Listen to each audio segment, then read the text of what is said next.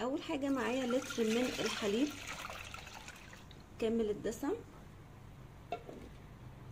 نص كوباية من السكر والسكر حسب الرغبة. معلقتين كبار من الدقيق. معلقتين كبار من النشا. هقلب كل المكونات دي على البارد الأول بعد كده ارفعها على النار. كده رفعت الكريمة بتاعتي على النار مع التقليب المستمر آه ونزل ايدي لحد قعر الكسرولة اللي معايا علشان ما تشتش مني. كده الكريمة بتاعتي ابتدت تتكثف معايا. هحط معلقة كبيرة مليانة من الزبدة.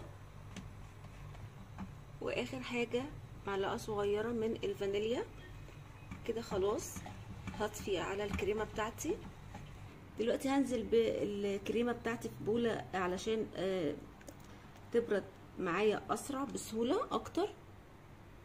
وعلشان الوش بتاعي ما ينشفش معايا ببلاستيك راب كده هنغطي السطح. هنزل بالبلاستيك راب على السطح على طول. وهسيبها تبرد بدرجة حرارة المطبخ. الكريمة بتاعتي بعد ما بردت معانا بالشكل ده كده. هبتدي أخفقها بالمضرب الكهربائي. أنا عايزة أدخل فيها هواء وتكون ناعمة معايا.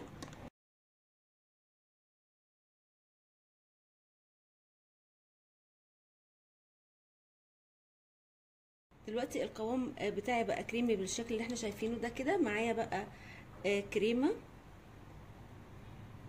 مخفوقة. طبعا كلنا عارفين الكريمة بتتخفق إزاي. عادي جدا. هقلب بقى الكريمة مع البودنج أو المهلبية بتاعتي. عايزة أقول لكم القوام بقى بيبقى خطير والطعم بيبقى يجنن.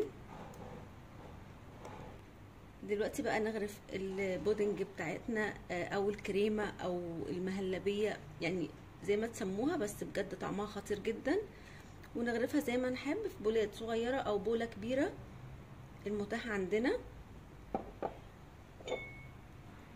وطبعا الكريمة دي ممكن نعملها شوكولاتة.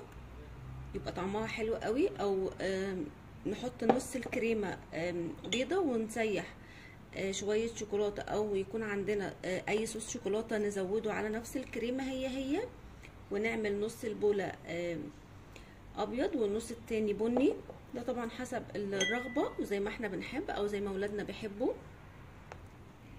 كده بقى معايا صوص شوكولاتة وده اختياري. بس طبعا كل الحاجات دي بتدي طعم حلو جدا. ممكن لحد الطبقة بتاعه البودنج الأبيض وكده وخلاص. ولكن طبعا الشوكولاتة لكل عشاق الشوكولاتة بتدي كل حاجة طعم خطير بالشكل ده كده. دلوقتي الحلة بتاعنا نحطه في التلاجة على الأقل ساعة. دلوقتي الحلة بتاعنا بقى جاهز معانا. أنا طبعا مش صابرة عليه قوي زي ما أنتم متخيلين. أنا بجد الولاد مستعجلين جدا عايزين ياكلوه بسرعة. بس أنتوا شايفين قد إيه بقى كريمي بالشكل اللي إحنا شايفينه ده كده. بجد طعمه وهمي. يا رب وصفة النهاردة تكون عجبتكم. واللي جرب الوصفة وتعجبه يا ريت تسيب لي رأي في comment. واللي عجبه الفيديو يعمل like. سلام.